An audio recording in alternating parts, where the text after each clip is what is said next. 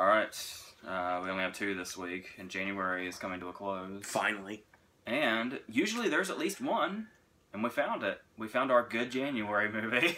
Yep. Uh, and that's why we're going to start with it, even though there's a sequel to a movie that was big 15 years ago.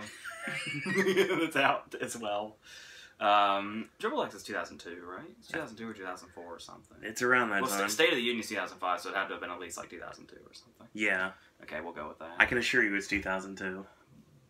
But before we even go into that, let's go into Split, the new M. Night Shyamalan movie, following The Visit, where it's kind of like maybe, possibly, well, I mean, we don't want to jinx anything, but maybe Shyamalan's coming back. Possibly. maybe. Let's let's just see. Let's not get ahead of ourselves now. We did that the first time. yes. So, um, you might have heard a while back that there was big news that uh, Shyamalan was going to reunite with Joaquin Phoenix, who obviously he worked with uh, on Signs and The Village. Uh, and that was going to be this. Joaquin Phoenix was going to be Kevin, actually. Uh, but apparently that fell through, and we ended up with James McAvoy, which is great because McAvoy is awesome. Yes. Um, like I said, I honestly would have given him awards attention for Days of Future Past if I could have. And you know, you know what I really loved him in was Victor Frankenstein. Oh, yeah. I really loved him in that. It was really fun in that movie. Um, because he can he can do this unhinged thing so well. So this is perfect. Like this is just an acting showcase for him to be unhinged for a straight two hours in twenty three different ways. um, not that we see all of them, but we see enough of them. Uh, I, I was wondering. I was like, twenty three is a lot for a two hour movie. Um, we kind of they cheat a little bit. We get some in glimpses, and some we hear about, what we never actually see. And there's just like a six main prominent ones or so. the desktop on the computer is the only time we really even see the names and And most of that time we spend with Barry anyway. Exactly. We already know. When he was doing Barry, were you getting the? Were you getting it in your head? He was kind of doing an impression of Mark Wahlberg. Yes. an SNL Mark Wahlberg is what I'm thinking. the say hi to your mom for me. The Noma, that kind of stuff, like something Jimmy Fallon would have done on SNL. So, um, if you aren't aware, obviously, um, this is a story of McAvoy who kidnaps three girls who are just leaving a birthday party. One of which is Anya Taylor Joy from The Witch, and uh, she was Morgan and Morgan that nobody saw. So, The Witch. Uh, Yes. and um, and she's basically the loner type, and we kind of eh, the main story is them being uh, held captive by him. And one of the first things that kind of came to me was this was kind of I guess probably a little bad luck because I'm assuming Shyamalan's had this written for quite some time. Um, so it's kind of unfortunate timing that this comes at the very beginning of this year, seeing as how we had another movie at the beginning of last year that was great. And were you kind of getting vibes? Uh, were you reminded just a little bit of Ten Cloverfield Lane? In Oh, some- yeah, in some of these absolutely. scenes? I mean, it's a it's a totally different thing, but you'll you might think back to that, um, but not enough to kind of hinder this or anything, or make it seem lesser or anything. Um, and really, I'm sure the main, just the concept itself just kind of sticks out to you immediately. I mean, it's like a Sybil thing, sure, only it's an M. Night Shyamalan thriller. And I was just saying this last night. There's something that I think Shyamalan's doing that's really great right now, and is really, really a good and smart direction for him to go. I can only assume it's following the reaction to the happening. I mean, we had a couple things in between, like um, the Last Airbender, and I know he had another one in between this and the between the happening and the visit. There was the Last Airbender and something else. Uh, After Earth, yeah. Oh, oh wow. Um, but let's just say, because After Earth was probably put upon him by Will Smith. Um, so there's that. Um, the Last Airbender we all know about. Uh, but Which ironically we had to hear about last night too. but you look at the happening and you see the reaction it got, and everybody was thinking, "Is this intentionally hilarious? It's gotta be. Like, there's just no way." So then the visit comes out, and he basically intentionally made it funny. Like I feel like almost as a response to the happening, and so this seems to be what he's doing now. Um, there's certainly some creepiness in his movies. Um, he's getting some really good, genuine moments out of them, but he's also just throwing this really absurd comedy into them now. Uh, and I feel like he's really kind of like he's taken that criticism he got for the happening and he's just totally embracing it, and now he's doing it on purpose and actually making it a new kind of charming factor in his movies now. That's a really smart move. Um, because he, because like I said, it makes you wonder if that's not what he was doing to begin with. Like, isn't there a scene in Lady in the Water where they're all just staring at cereal boxes looking for the meaning of life or something? Yes, yes, there is. Uh, okay. Um, so this is this is just a brilliant direction for him to go, and I think it's really, really going to help him out in the long run. It's definitely going to get people to because after the visit, he started to win people over again, and people seem to really be taken to this, which is great. Um, His next movie is very interesting. and so, uh, okay. Not what Let's I'd do it. expect. It's a mystery drama romance movie called Labor of Love. Okay. Um, and uh, one vibe I was getting from this movie, I don't know if anybody that's watching a split review would know this movie or not. Um, Frankie and Alice with Halle Berry. Do you remember that one? Yeah. Where um, McAvoy has to do. Uh, I mean, there's obviously obviously going to be the Sybil comparison, but um, there is the um, this movie Frankie and Alice with Halle Berry. Uh, that was like really long delayed. Like it got a Golden Globe nomination like three years before it went to. I do remember that getting nominated, wondering what it was. And um, and Halle Berry kind of had to do this similar thing where she has different personalities, one of which is like a small child. And I was nervous about McAvoy having to do that because Halle Berry, Halle Berry is an Oscar-winning actress. We all know Halle Berry very well.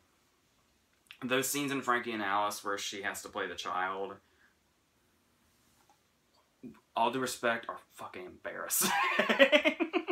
it's it gets it gets ridiculous. So it's like I wonder how McAvoy's gonna handle this. Um, and I, it's yeah, there's just something about because even when he's playing the kid, there's still something totally menacing about him, and the kid personality is like a total innocent.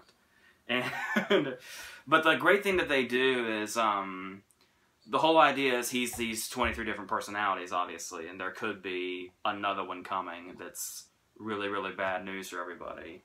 Um, oh, for starters, I would just like to say I, I liked how they treated the Beast leading up to it, because for for a second there, it was like um, there's like his other personalities are talking about the Beast and like, do you believe in him and stuff like that. And my my first thought was, is the Beast like God inside his mind? I thought it was the devil. um, So we, we've already been there with Shyamalan before, though. um, but then as they played up more, it's kind of like um, deciding if a scary story is real or not is supposedly what the beast is. Right. And it's that question of whether or not a 24th personality is coming or not, and what's going to happen should it appear.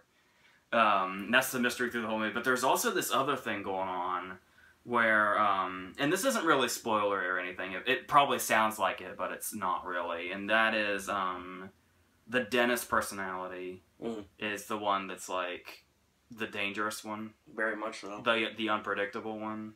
Um, where he's like a neat freak and he's like OCD and he, he looks like Josh Charles when he's wearing the glasses.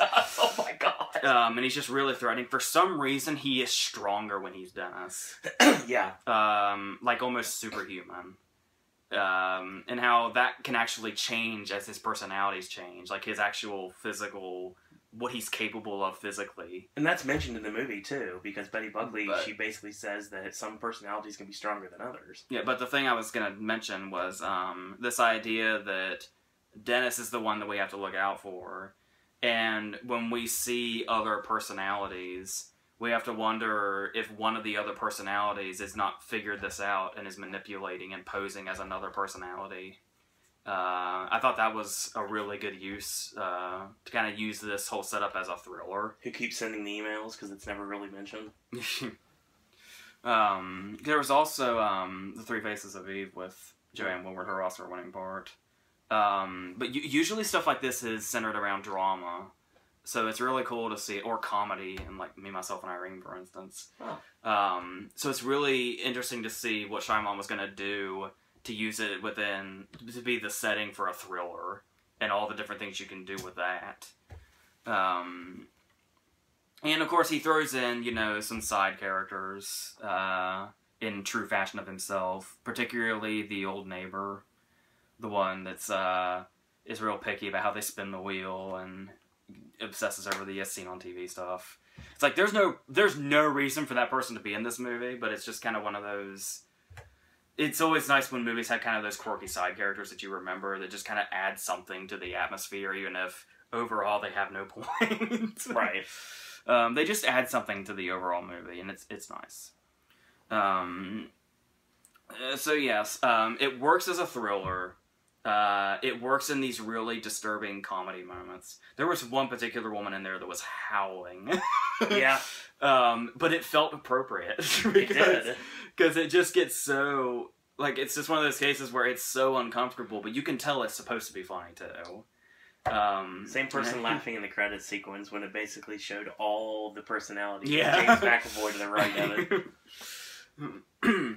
yeah, that was good. I like that. Um, while we're on that subject, the the credit sequences are kind of cool too. oh yeah, how they're like there's one, there's the prominent one, and then the, there's like multiple ones in the background. it works too. Um, Fits the tone of the movie. yeah, Shy- Shyamalan has some really good opening credit scenes. Like they're kind of basic, but they're really tone setting too, just in the way they are. Oh yeah. Uh, so I've always really liked that about his movies as well.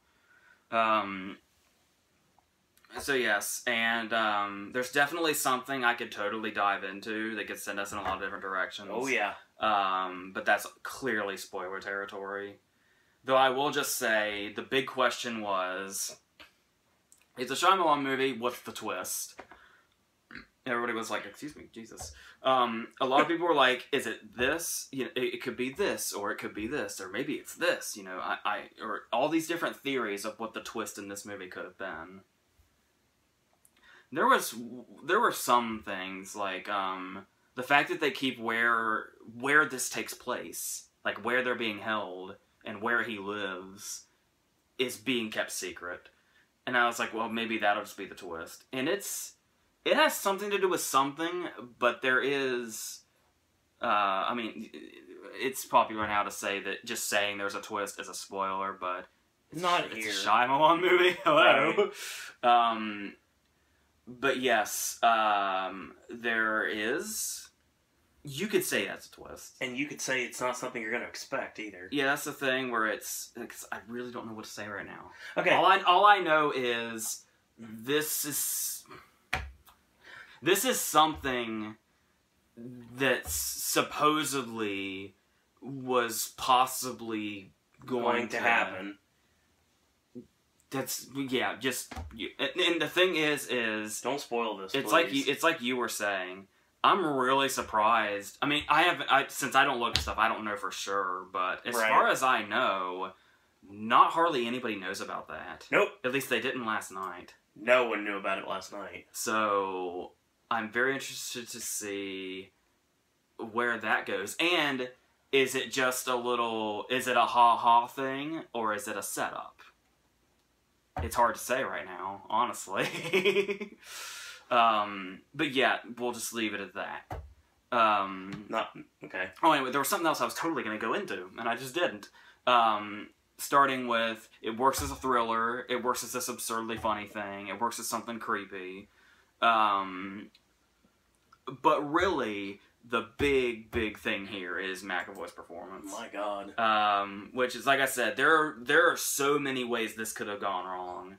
Um, but he he really had it here. Like he he knew exactly what he was doing, and we, we could probably put this up to Shyamalan's direction too, because that could have made it go south by itself too. Um, but it all it all was working together, and it's yeah, it's some really really good stuff.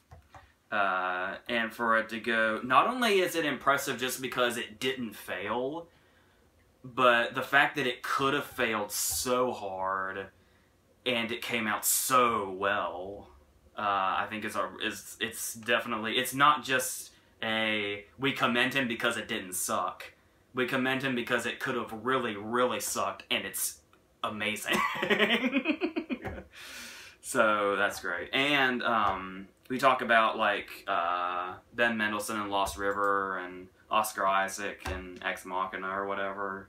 Um, McAvoy is a new challenger for best dance scene ever. Oh my god. Yeah. Oh, and that's the thing too. Is not only is it just funny and ridiculous, it's actually a really good scene. Like I love the way it's shot. Honestly, I agree.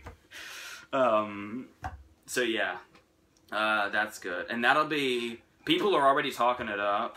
Not not necessarily awards or anything, but people are talking it up to the point that um, even though it came out in January, um, McAvoy's performance is going to be getting talked about all year. He's got a good. I mean, just like I've I've heard some maybe like when we get to the end, like to like November or something, Right. or like um, early December, obviously, um, of 2017. Maybe some critics lists he might show up on at it's, least. It's literally just like last year with Ten Cloverfield Lane and John Goodman. well, I think. Uh, well, I don't know. It's the same. Con- it's the same concept. It's an early performance that was really liked by everybody that saw it, and It's a guy taking a girl Guy- captive and keeping her underground. exactly. There's so many like difference differences and similarities about it, but all in all, it's something you need to go see. There's something. There's another way you compare it to Ten Cloverfield Lane, but I'll tell you when the camera's not rolling. Oh, okay. all right. I think you already know what I mean, though. All right, let's get this over with. Our next movie is gonna be Triple X: The Return of Xander Cage, or Triple X Three. Three X's for how many movies we have now. Um, and I was, I was indifferent to the idea of this existing, because the first Triple X is nothing harmful. It's yeah, it's over long, and it, it it gets dumber as it goes, but it's still pretty awesome, especially like the training sequences. Anything between Vin Diesel and Jackson in the first movie is great. The diner scene, the Danny Trejo scene, and everything that follows with that him ramping down the exploding barn or whatever that was. That shit's awesome. it's just it's just awesome. And the second movie, um, I was okay with as well. I don't really remember anything about it, honestly, except that uh, it was a, a spoiler for Triple X State of the Union. if you're worried about that, I remember that Willem Dafoe ended up being the bad guy, and Ice Cube blew him up on a train. That's what I remember about State of the Union. Um, and so now there's this one. And there's the whole thing where it's just like State of the Union's just like Too Fast, Too Furious. They're like, well, we couldn't get Vin Diesel back, so we're just gonna say he's dead. But then another movie's got to come out, and it's like, you know what? Never mind, Vin Diesel's not dead. and of course, we get to watch Xander Cage turn more and more into Dom Toretto as this movie goes oh my god! as you can, as you can probably guess.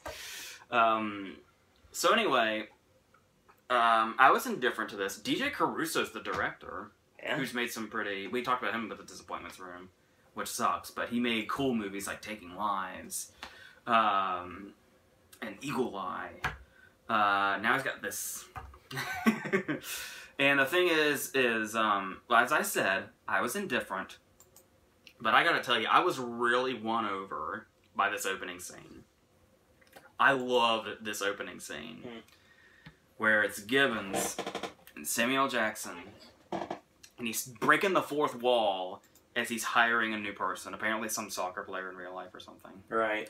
um, playing himself, which I learned from the credits. Uh, and um, I really love this opening because it was him basically putting somebody else through the same training that he did Cage in the first movie. Uh, and he's talking to us, and he's just being Samuel Jackson, and it's great. Um, he's talking about you know extreme sports. He you'll you'll be sorry you missed this. He name dropped Dogtown Z Boys. Oh man. um, and they have like little stats that come up where it's Gibbons, and then it says, you know, like this is Gibbons, he does this and he does this, and then it says like, you know, his karaoke go to is "What a Wonderful World" or something like that. And it's like that's a nice touch. I mean, it's it's overplayed, but I like it. It's fun. It's energetic. Um, and he and then of course they have to throw in a joke where um, it shows the other the guy he's training. It shows his stats, and one of his stats was when he met Gibbons, he thought he was being recruited for the Avengers. Because Samuel Jackson. Um, and then something happens. Um, okay, I don't know if this is addressed in the advertising. I did not know this was what happened. Um, so if for some reason you want to go into Triple X3 blind in the event that this is not advertised, um, you might not want to hear this, but after we have this big, energetic opening scene where Jackson's breaking the fourth wall and he's being Samuel Jackson and he's talking to the camera and everything's awesome and this whole scene is awesome. It's like it's getting me prepped for the whole Avengers reference. It was like this is gonna be self-aware out the asshole. Like they realize just how ridiculous this is and they're just gonna go for it. And then wouldn't you know it, a satellite drops out of the sky, blows up Gibbons, and kills him in the opening scene. it's like, well, I have a bad feeling the movie went with it. so, it's like Gibbons is dead, we gotta call Cage into action to find out who did it. And Toni Collette is the new Gibbons, pretty much. No points for guessing who the bad guy is. but anyway. Um, now, once again, worth noting, we had to watch this in 3D. Not my preference. Never is. And we're gonna do the same thing And next for a while there, I was won over. Because when we saw those satellite scenes, it was like, this looks pretty good. And having Samuel Jackson break the fourth wall to us right in our damn faces, it's like, I'm into this. This is cool. And even the first scene when he's like skateboarding around town. The sparks and It's like everything. it's like I'm into this. Okay, it's fine. Um, well, then we get to the point to where, and here's the problem: is what made the first movie so cool is that even though it was all this really, really unrealistic stuff, you thought you were actually looking at it. Like it actually, I'm not sure exactly how they shot that, but it looks like Vin Diesel on a motorbike riding down the roof of a barn as it explodes. um, when he skydives with a snowboard attached to him and lands on a damn mountain and just goes down it, leading to more explosions. It all looks like it's all there. Uh, and I don't know for sure if it's the 3D or if it was how it looked in general, how this w- it would look the same in 2D or not. But um, this stuff does not look real or like it's really there. Right.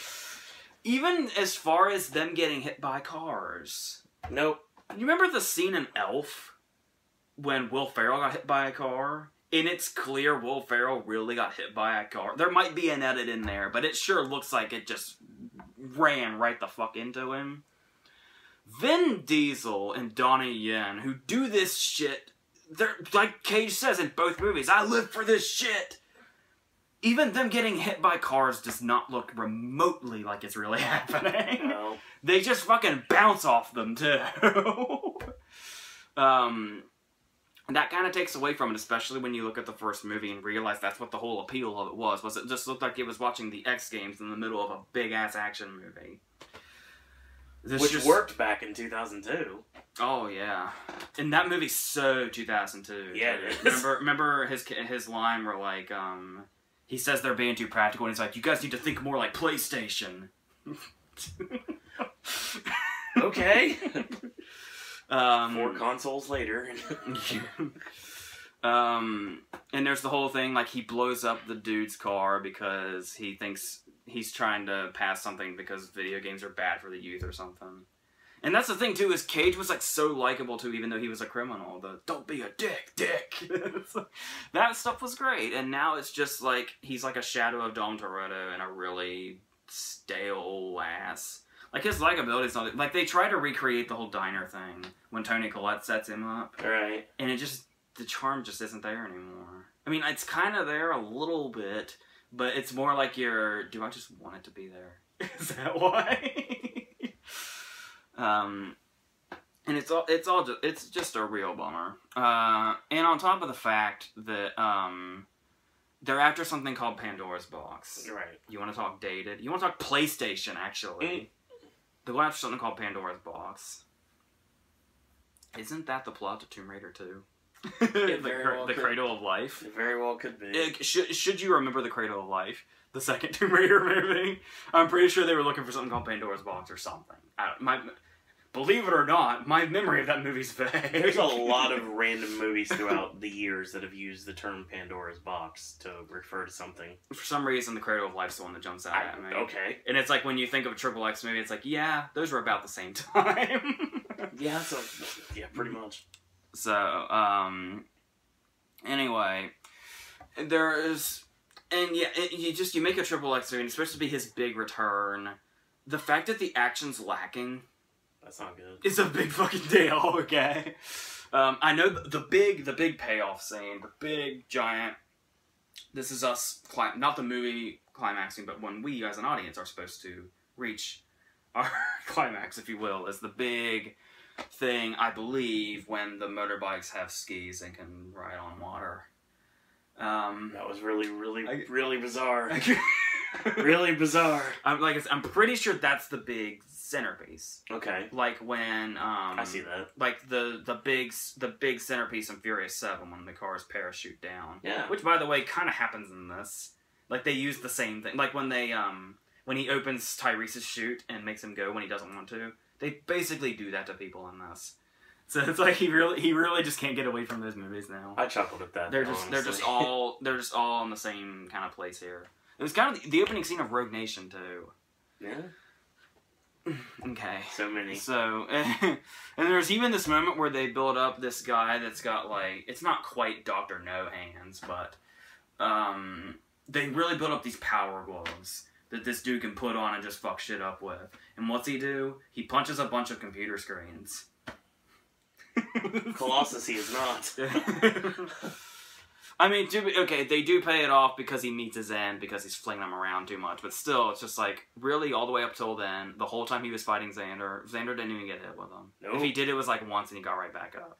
It's like way to build those up for the whole movie. He does no cell death quite a bit, so anything's possible. Quite literally, he's Yeah. supposed to be dead. Remember? Yeah, but the basically they pretty much like completely forgot about State of the Union. Almost. And the No, thing that's is, what they're saying. They said the they pretty is- much like And the thing is, is that um, another thing that happens here is, and you're gonna look at me weird when I say this, but hear me out. Um, bad acting. Yeah, I know. You're looking at me and you're saying, uh, dude, it's Triple X three. What did you expect? I know, but when you watch bad action movies, if they're charming enough in their badness, the bad acting is part of the charm as well. right. The bad acting, honestly, was just adding, just fueling my fire, just fueling my hatred. I know it was fueling your hatred. Yep, I'm going there. And you are going to go there. Um, so um, you know those people who are in, who are famous, and they're in different industries, and you know their names, but you don't really know what the fuck they do. yeah. Like Nina Dobrev, for instance. well, she's in this. She's one of those. Like, this is the first time I've ever been really to be able to put a face with a face with her name. Honestly, Right. It's like I hear that name sometimes, but I I couldn't tell you what she looks like. Well, I guess I kind of can now. And she's that character where it's the um she's supposed to be the sexy dork character who's also got some badass hiding in her or whatever. Um, she got it. You know who would have been great in that part, and not made it annoying, but actually made it as charming as it's supposed to be. Hmm. That part was made for Allison Pill. Yeah. Instead, we got this bullshit. Um, where she's supposed to be the dorky girl, and she's all. She loves Xander Cage because of his muscles, his guns, as she calls them. And she gets, even though she's all business, she gets nervous and talks too much when she gets nervous. And her whole character's that through the whole movie, and we keep seeing her because we're supposed to be charmed by her every time she's on screen. so incredibly endearing. I actually wrote that. I wrote, Dorky girl talks too much when nervous. How endearing with X's and a frowny face. um, but that's not all. But that's not all. Believe it or not, she is not the worst character in the movie. Was Nix his name? Yes. Okay. You tell me what the fuck that purpose, a purpose that guy served. He's fucking up my words because how fucking useless he is. Here's what happens, okay? So we're doing the whole thing where we have the intros and we have the stats, like the beginning scene with Gibbons. Only everybody gets it now. And so even though Xander supposedly been dead, and he had no connections to this Triple X program whatsoever before anything, because that was the beginning, um, he suddenly knows a whole crew of people. And now, isn't that one girl on Orange is the New Black or something? I think It's on so. one of those overplayed shows or whatever. shows I don't um, watch. They only know because of Bill and Ted. Yes. Um, and so he has this whole team. Oh, Ruby Rose. Yeah. yeah, he has this whole team assembled where yeah, she, that is correct. um, she tracks down poachers in the wild, um, and makes enough fuss of things to where instead of the poachers killing the wild animals, she draws attention to the poachers so that the wild animals may maul them as she walks away smugly. Um, not that I'm pro poaching by any means, but I mean, that feels a little excessive. But never mind.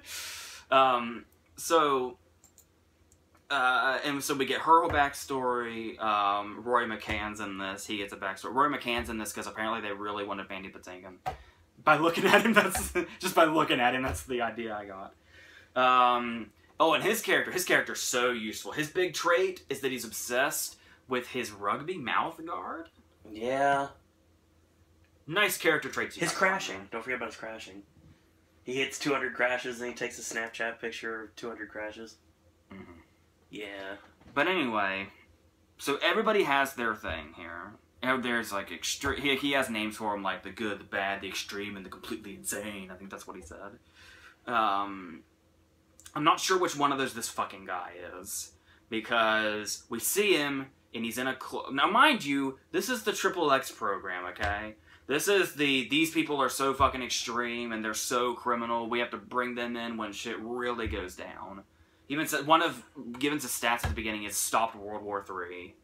Uh, I buy that with his character. was that with the Triple X program or the Avengers? Though we'll never know. Yes. um, exactly. So the thing here is, Same thing. so we got her who's extreme, we've got him who's extreme, and then we've got this fucking guy. He hangs out on a club. One of his traits on his stats is um, he dated Lady Gaga and Taylor Swift on the same, night. And his his main trait like the one thing where it's like you know she's like an expert marksman and he's like you know a destruction expert or whatever his is exact words here fun to be around and i was like okay then what the fuck does he do i guess i'll watch the movie and find out Nope. He's DJ. No, he's a distraction technique, is what he is.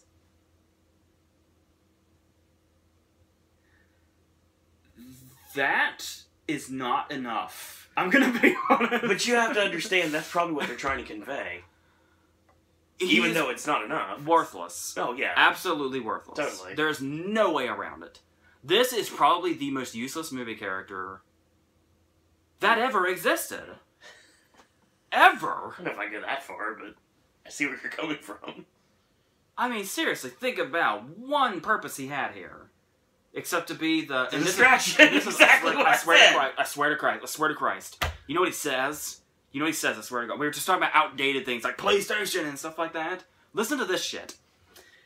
They go in and they're like, "Okay, well, we need soldiers, and you guys are soldiers now, and you're gonna do what we say." Oh God, you're gonna drop that line, aren't you? Yeah. Says, "I'm not a soldier. I'm a baller." Number one, shut the fuck up. And secondly, he just straight up said, I have no point here. exactly. At least he admits it. We can give him credit for something. So, Yeah. I'm really surprised it's just right there, honestly. I'm not. Um, At least the other So- one wasn't ruined. And yeah, that's the thing is, um, and they even bring okay, so like we just had a character that said, and this is supposed to be like, this is supposed to be like the movie's charm. This is supposed to be the movie being hip and shit. Um, he says, "I'm not a soldier. I'm a baller." So later on, we have a scene where what's her name says that grenades are outdated. Yeah. So it's like, I'm sorry, this movie, this movie is addressing stuff being outdated, is it? wow. Um. So yes, um, and there's another. There, there's actually so many things wrong here. Um, once again, this is this is one of those cases where um, you can tell they knew it was going to be in 3D because there are there's some like the stuff at the beginning when he's like going through the place. Uh, there's really slow mo shots of just fucking leaves and dirt flying at the camera For the 3D. in slow mo. Yeah. Leaves and dirt. Is this Triple X by way of Terrence Malick by any chance? Maybe. and here's the thing also is um, something else they kind of try to play with is I don't know. I was really bad in science, honestly. Like if I if I hadn't left school, I would have failed science miserably. Silence. Science. Silence. um, however, and I've never been on a plane in my life. I really don't plan on it I could because I probably I can probably vouch for you on this statement. I've never been on a plane because I want to live, honestly. It's not that bad. But with all this being said, I am pretty sure when a plane goes from normal to dropping, that does not result in zero gravity. It becomes Inception. that was straight up zero gravity. I know it was.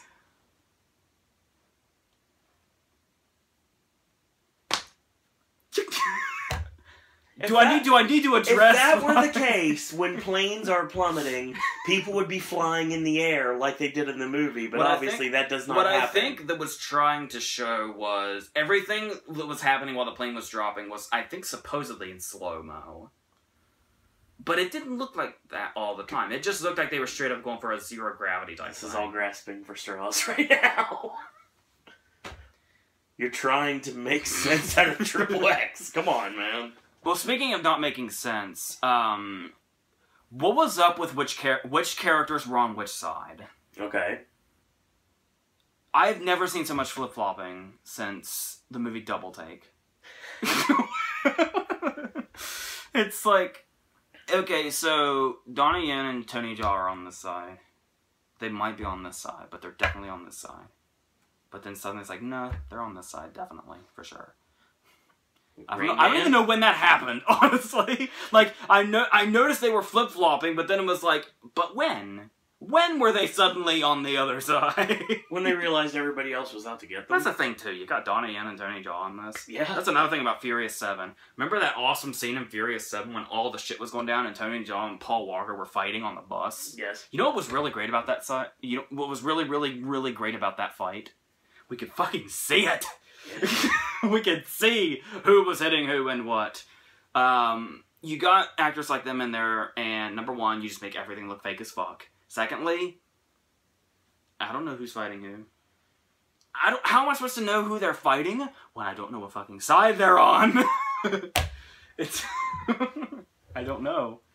Do you remember? Obviously, at one point they switched sides. Right. Do you remember when that happened specifically? I said they were all they were in the they were in the warehouse and they were basically about to be got and the next thing you know they were of course they were handcuffed and everything like that and then I'm trying to make sense out of They're, this. they just hand them guns and they're like, Yeah, "You're they on our no, side now." No, seriously, that's almost exactly word for word dialogue. It's like, well, I guess you're on our side now, and then they hand everybody guns, the people they just had tied up minutes before. Because now everybody's against the government, so you know what's a sad thought? we're trying to make sense of this. It's that we saw this and split on the same night. We had M Night Shyamalan and we had Toni Collette. You know that what happened when M Night Shyamalan and Toni Collette worked together? They both got Oscar nominations. It's true.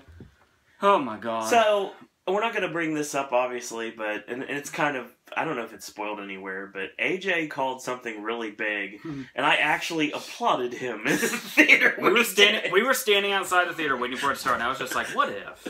Just like what if? and when it happens, I just look over at him and I'm like, clap. And should have been they fucked it up too. Should have been a one and done. I agree. I totally agree. Just drag it the fucking And then Dom Toretto had to come out of the woodwork at the very end. Oh, and by the way, this probably won't be a spoiler to you, but um, the ending of this movie, Winter Soldier, like right, right down to the wardrobe. I guarantee. Yeah. I guarantee it just the whole thing was a whole reference to it. This whole what this whole movie stem what this whole movie story stems on might very well just be a reference to the Winter Soldier. Is it bad that I was waiting the whole movie to hear DMX? I just it just felt felt right. It just did. Deadpool was over a year, almost a year ago, dude. Yeah, don't remind me. Um. Oh, um. So I was making fun of Nina Dobrev. I was making fun of DJ Who Gives a Fuck. I totally just didn't mention this because there's really no need to. I don't know that woman playing his love interest. She's a Bollywood actress. Okay. Worst fucking actress in the world. Are you gonna argue with me? they don't really. Uh, do they? Uh, you're basically talking about the standards of Bollywood acting now. You're really going after people by saying that. Well, just Tommy Wiseau exists in this world, sir.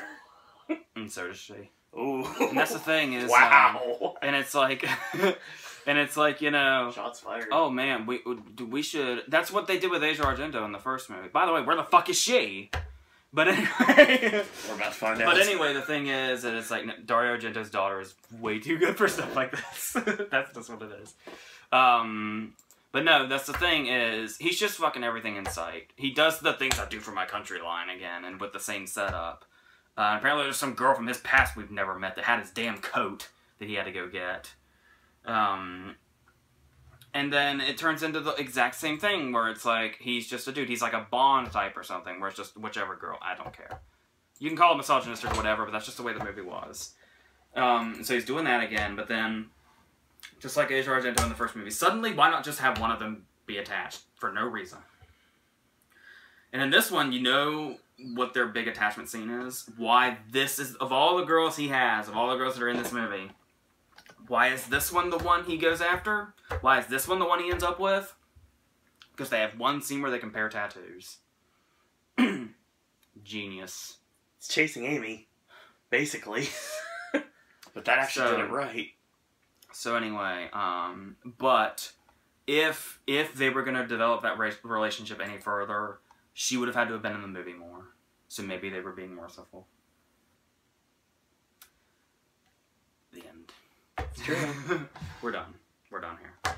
All right, so it's another edition of AJ's movie reviews. Uh, don't go away this week if you're a movie fan because tomorrow we're gonna do the Guild video. We're talk about the the Writers Guild, the Producers Guild, Directors Guild, and the Screen Actors Guild. So that's gonna be with the three of us joining with Ashley. That's gonna be tomorrow.